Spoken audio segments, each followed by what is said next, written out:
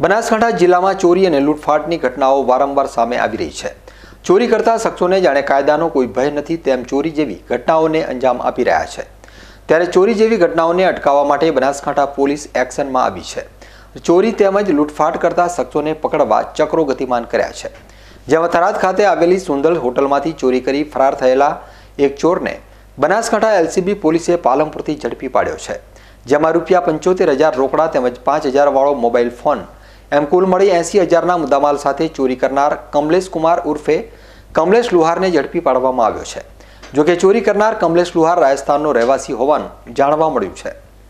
થરાદની દુસુંદલ હોટલમાંથી ચોરી કરનાર આ શખ્સ સામે પોલીસે કાયદેસરની કાર્યવાહી હાથ ધરી છે. ત્યાં જ કેટલીક જગ્યાએ ચોરી કરી છે, તે અંગે પોલીસ દ્વારા વધુ તપાસ કરવામાં આવી રહી છે.